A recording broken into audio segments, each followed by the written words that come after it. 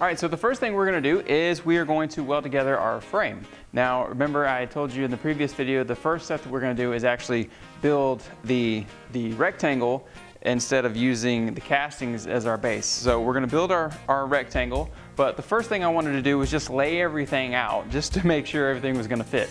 I knew it was gonna fit in my head, but I wanted to make sure when I actually laid it out that everything was gonna fit. And what I did discover is based on the height or, or length of my frame, I am gonna end up having to take an angle grinder and cut off uh, one, uh, cut off a section of one of these pieces. Now I've built myself a little jig here so I can, uh, I know everything is square when I just throw the material in.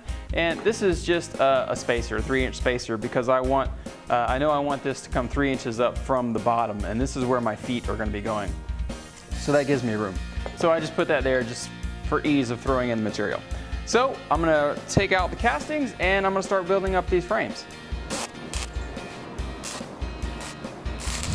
All right, so the next step, now that we have our frames all put together and we know they're square, is we're gonna fill in with our castings.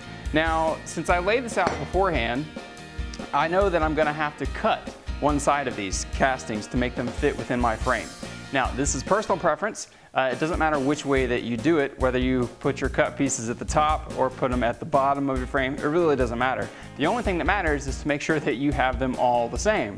So if you have three panels, you wanna make sure that uh, all your cut pieces are gonna be either at the top or the bottom. Now, me personally, I like having them at the bottom, but again, that's personal preference.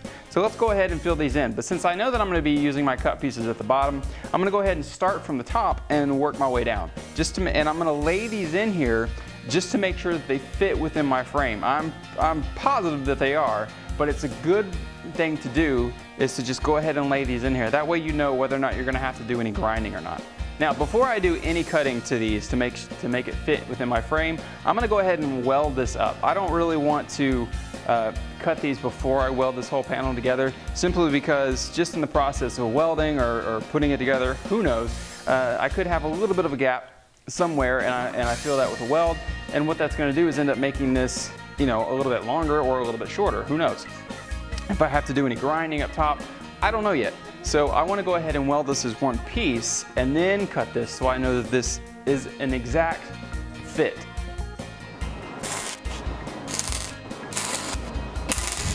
All right, so now that we've finished welding up our cast panels, uh, I'm gonna go ahead and mark where I know I'm gonna need to cut this. Now to do this, the easiest way for me to do that, I'm just gonna take my frame, sit it right back on top of there, just like that. Make sure I'm lined up up here. Good, I'm all in there. I'm just gonna take my soapstone or you know whatever you have and just make a little mark so I can see what it is that I need to cut.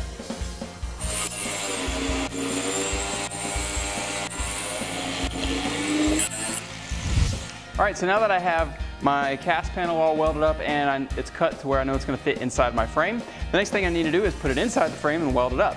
Now, the one thing you need to consider when you're putting your cast in is just being able to center it uh, in your frame. Now, to help me with this, I've just got this uh, scrap uh, piece of bar here from an old fence.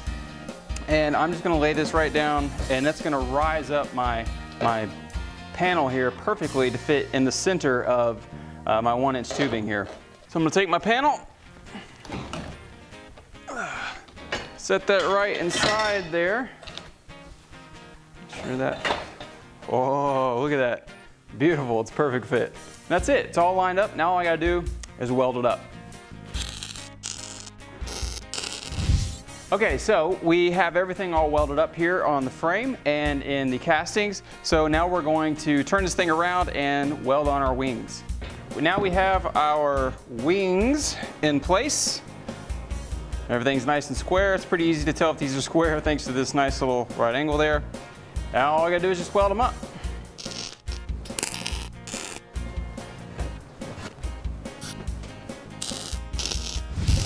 All right, so our next step is to take our flat bar that we're gonna be using uh, basically as our big mount tab, weld that to the top, and then we're gonna weld on our feet, and that's it. The next phase is gonna be painting and installation.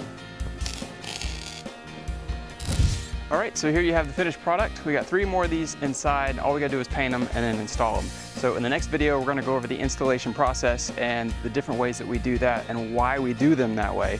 But it's, it's pretty simple. You're, I think you're gonna like it.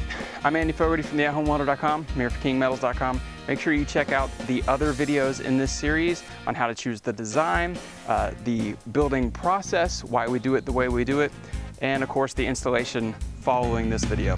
So that's it. I will see you in the next video.